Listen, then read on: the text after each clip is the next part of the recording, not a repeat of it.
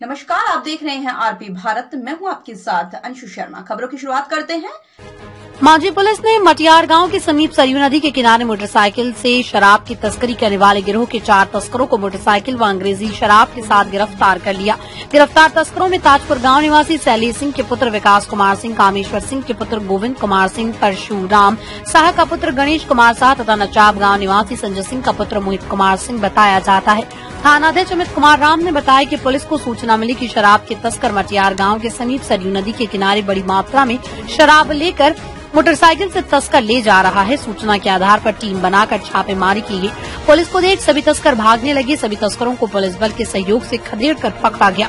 तस्करों के द्वारा मोटरसाइकिल से बोरे में बाँध कर रखा शराब जब्त किया गया। जब शराब की मात्रा चार सौ अस्सी लीटर बरामद की गई सभी तस्करों के विरुद्ध नई उत्पाद अधिनियम के तहत प्राथमिकी दर्ज कर जेल भेज दिया गया। छापेमारी दल में अपर थाना अध्यक्ष प्रवीण कुमार, पुलिस अपर निरीक्षक नसीम खान, अखिलेश कुमार कोनी विपुल कुमार, सनी सुबोध कुमार के अलावा जिला शस्त्र बल के जवान शामिल थे। मांझी से सिंह की रिपोर्ट। दमदार निर्माण का भरोसा, लाल स्टील टीएमटी बार्स। हर निर्माण के लिए उपयोग, लाल स्टील टीएमटी बार्स। रिश्ता, मजबूती का।